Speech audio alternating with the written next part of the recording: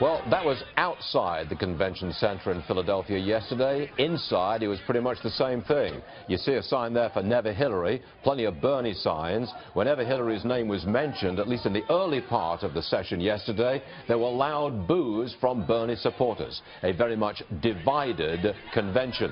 Democrat strategist and Bernie supporter Chuck Rocha is with us now. He's always got a smile on his face, but you know, Chuck, you were betrayed. You worked hard for Bernie Sanders, and the Democrat Party undermined him consistently and forced him out. Are you going to boo tonight when Bill Clinton appears?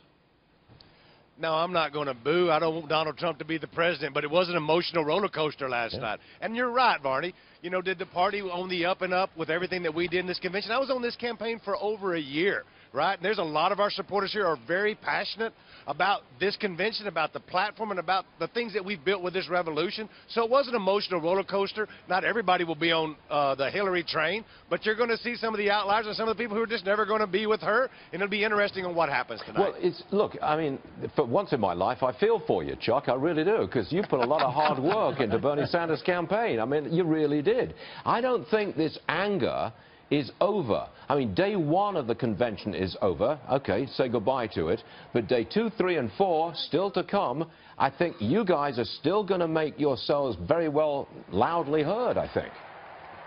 Well, I think that it's hard to bring a really fast-moving train to a stop on a dime.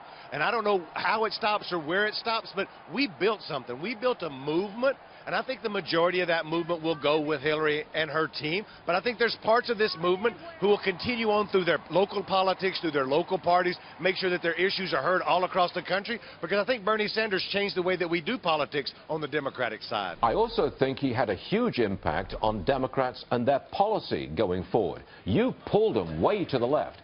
Bernie Sanders and Elizabeth Warren together have produced what I think is a socialist party. The Democrats are a socialist party. Now, you're not going to disagree with me, are you? I'm going to say that we're for clean water and clean air and trying to make sure every worker has a right. If that's being a socialist, count me in. But we want to make sure that people have a voice.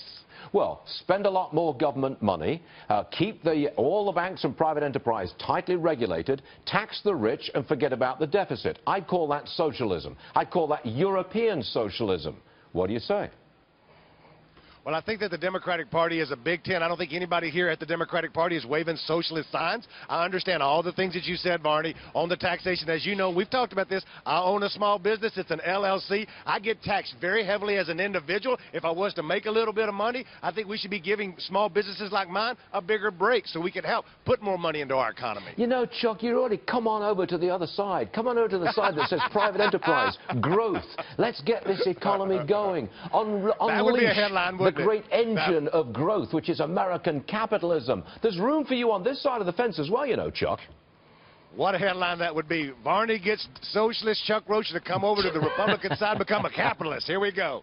Now we'd have some ratings. I could live with that. Yeah, sure. Chuck, you're a good man, and we appreciate you being Thank with you, us. Varney. Thank you, Thanks sir. for having us. Yes, sir.